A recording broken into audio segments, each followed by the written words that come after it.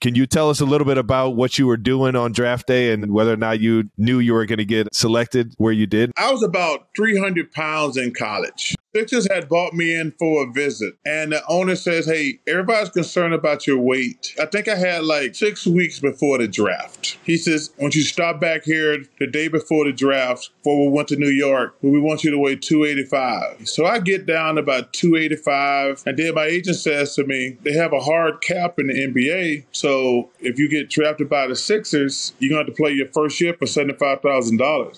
I didn't leave college for seventy-five thousand dollars. I could have got that much in college. So we went on an eating binge. I stop in Philly. I weigh two ninety-eight. I leave, and I'm thinking like, "Woo, we dodged a bullet." And if you go back and look at that tape, there's this look on my face when they said, "With the fifth overall pick in the draft, the Philadelphia 76ers select Charles Barkley out of Auburn." I got this look on my face like, "What the?"